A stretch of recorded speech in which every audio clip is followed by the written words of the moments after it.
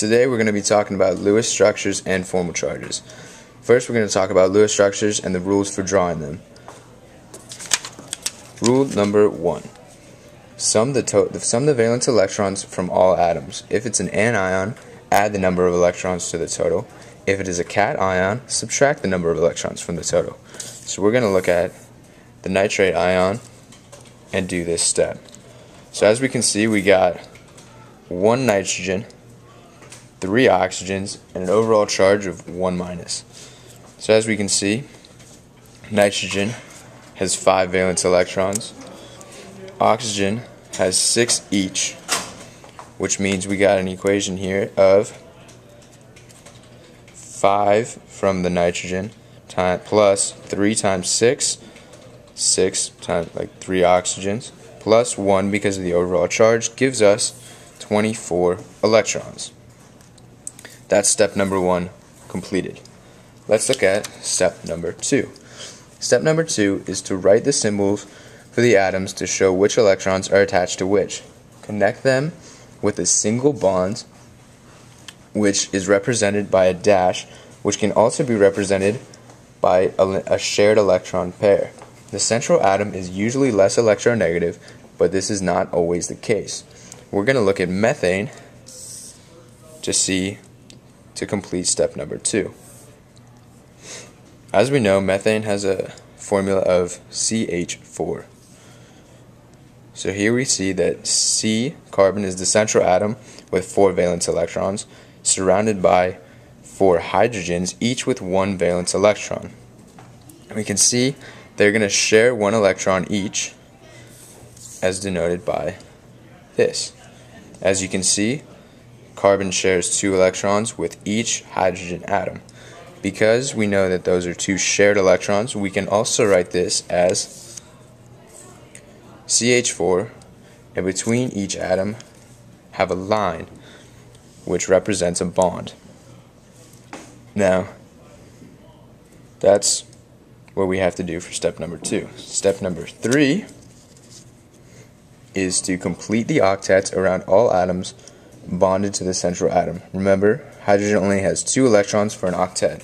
So we're going to go back to methane and see if we've done that. As we know, a, a straight line represents a bond, which also represents a shared electron pair, which means two electrons. So, as we can see, each hydrogen has a straight line to it, which means it each has two electrons, which means we've completed the octet for all the other ones, for all the hydrogen atoms. That's good. Step number four is to place any leftover electrons on the central atom, even if doing so results in more than an octet of electrons around the atom. So in methane, CH4, we can see that carbon has four bonds, which means eight total electrons, which means it has the octet. But let's look at an atom or a molecule that does not have a complete octet. I'm going to go, and that is iodine tetrafluoride with a 1 minus charge. So, so we're going to start with step number one, always, calculating the total number of electrons. We know that iodine has 7, and chlorine has, chlorine has 7 as well, and there are 4 chlorines. So we got 7 plus 4 times 7, plus 1 because it's an anion, and it has a 1 minus charge, giving us a total of 36 electrons. Now we're going to look at the Lewis structure here. So as we can see, iodine is the central atom because it's less electronegative, bonded to each, having a single bond to each chlorine atom. Because each chlorine atom has 8 electrons, we filled it up, it has the octet, and we know total it has 30, the molecule total has 36 electrons. We know that there are 4 electrons unaccounted for, which we then put on the iodine atom, the central atom. And that's step number four. So step number five is if there are not enough electrons to give the central atom an octet, try multiple bonds. Use one or more of the unshared pairs of electrons on the atoms bonded to the central atom to form double or triple bonds. We're going to use O2, two oxygens, to figure this out. So as we can see, oxygen, each oxygen has 6 valence electrons, giving us a total of 12 electrons. So first we're going to, we would assume it's a single bond between the oxygens, giving us an octet for only one of the oxygens. This oxygen has a deficient octet. We want to try to get both oxygens to have a full octet. So what we're going to do, like step five number like step number five tells us to, is we're going to try a double bond. As we can see here, an oxygen double bonded to an oxygen gives us an octet for both oxygens, making this better than a single bonded oxygen.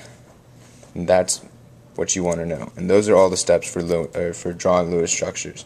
But now we're going to go to formal charge. And informal the definition of formal charge is the charge of the atom would the charge of the atom would have if all the atoms in the molecule had the same electronegativity. So what we really want to do is to calculate formal charge. We got some steps for that as well. So let's take a look. The first um, the first step is to for all unshared electrons are assigned in a Lewis structure on which they are found. Step number two. For any bond, half of the bonding electrons are assigned to each atom in the bond.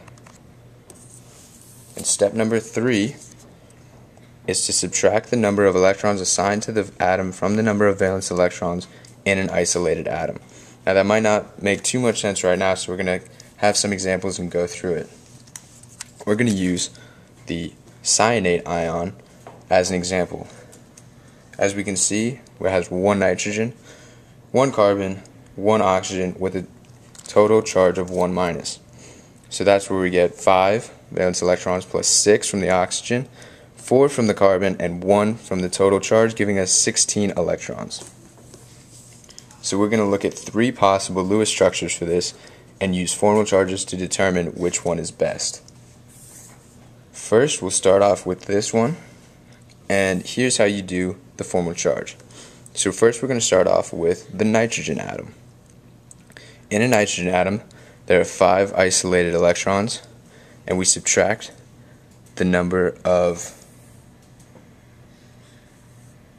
we're going to subtract the number 5 isolated minus number of unshared electrons, which is 2, plus the number of bonded pairs, which is 6, divided by 2.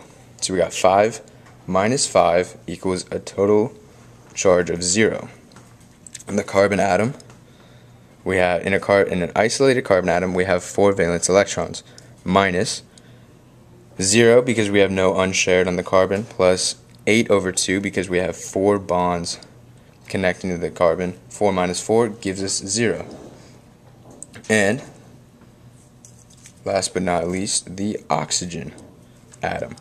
In an isolated oxygen atom, we have 6 min or we have 6 valence electrons. We're going to subtract total number. We got 6 unshared pairs of electrons plus one bond, which is 2 over 2, which gives us 6 minus 7 equals a minus 1 charge. And an important note is that adding all formal charges has should have the equal charge of the compound or ion. And because we know that the cyanate ion has a 1 minus charge, we have to add all these together and get a 1 minus charge, which we do. That's a thumbs up. Now we can check the next structure. The next structure is this. And as we can see, we calculate the formal charges on this one. And it has the N atom with a negative 2 charge. We got 5 minus 6 unpaired plus 2 over 2, which is because of the bond to the carbon. Gives us a total of negative 2 charge. Carbon has 4 minus 0 unshared plus 8 over 2 because it has 4 bonds, giving it a 0 charge. And then the oxygen atom has 6 minus 2 unshared right here plus 6 over 2 because we got 3 bonds, giving it a total of a plus 1 charge. If we add all these together, we still get an overall charge of 1 minus. Lastly, we look at this structure for the cyanide ion. The nitrogen atom is 5 minus 4 because we got 2 unshared pairs, plus 4 over 2 because we got 2 bonding pairs, giving it a minus 1 charge. Carbon atom has 4 minus 0 unbonded, plus 8 over 2 because it has 4 total bonds, giving it a charge of 0. The oxygen atom has 6 minus 4 because of 2 unshared pairs, plus 4 over 2 because it has 2 bonds, giving it a charge of 0. Add them all together, you still get minus 1. So how do we know which one is best? Usually we choose the structure that has the most atoms of closest to or equal char uh, the charge of most atoms equal to 0 or closest to 0 because two of these have equal charges, we look, because we know that this structure and this structure right here both give us lowest numbers to 0. As we can see, got negative 1, 0, 0, 0, 0, negative 1. So we know that these are the smallest numbers, which means it has to be one of these. The way we determine it this way now is electronegativity. Which structure is more likely?